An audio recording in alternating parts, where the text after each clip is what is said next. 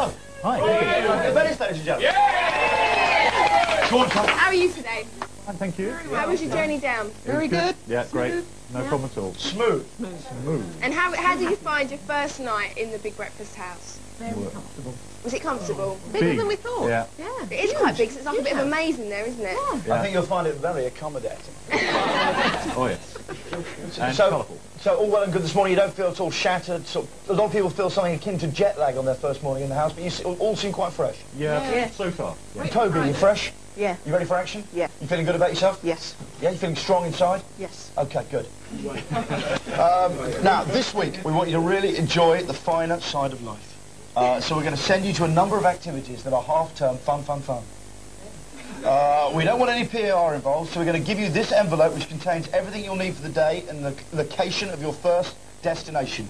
You must open this envelope now. Oh, it's it's open already. Oh, good lord. No, no, no, not till after the show. Sorry. Don't open that till after the show. But that's that's your activity for today. Okay. Okay? It's an exciting activity. Uh, presumably We're we not allowed haven't probably presumably we haven't probably thought it up yet. no, we have, we have. Generally that just means shoddy production value. Forward to your week. I think we are. Anything you're especially looking forward to? Anything you're slightly dreading? Especially looking forward to being here.